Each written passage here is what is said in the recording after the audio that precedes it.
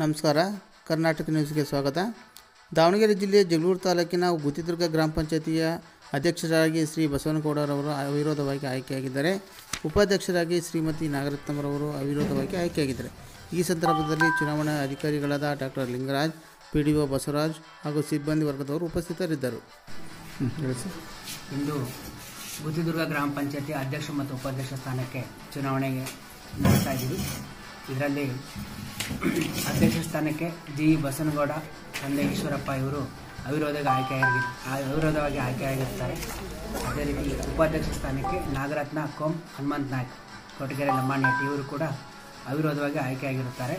ಇದು ಇಂದು ವಿಶೇಷತೆ ಅಂತಂದರೆ ನಮ್ಮ ತಾಲೂಕಿನ ಕೊನೆಯ ಚುನಾವಣೆ. ಪ್ರಥಮ ಚುನಾವಣೆ ದೇವಿಕೆರೆನಲ್ಲಿ ನಾನೇ ಮಾಡಿದ್ದೆ. ಕೊನೆಯ ಚುನಾವಣೆ ಕೂಡ ನಾನೇ ಮಾಡ್ತಾ ಇದ್ದೀನಿ.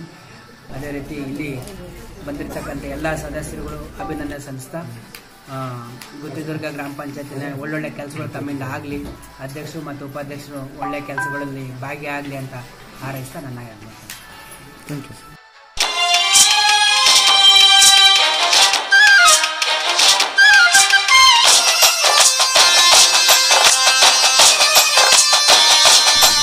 ಇಂದಿನ ಆಯ್ಕೆಯಾಗಿರ್ತಕ್ಕಂಥ ಗ್ರಾಮ ಪಂಚಾಯತಿ ಸದಸ್ಯರುಗಳಿಗೆ ಮತ್ತು ನಮ್ಮ ಪಂಚಾಯತಿ ಸಿಬ್ಬಂದಿಗಳ ಪರವಾಗಿ ಹೃತ್ಪೂರ್ವಕವಾದ ಸ್ವಾಗತವನ್ನು ಬಯಸ್ತಾ ಇದ್ದೀವಿ. ಇಂದಿನ ದಿವಸ ನಮ್ಮ ಗ್ರಾಮ ಪಂಚಾಯತಿ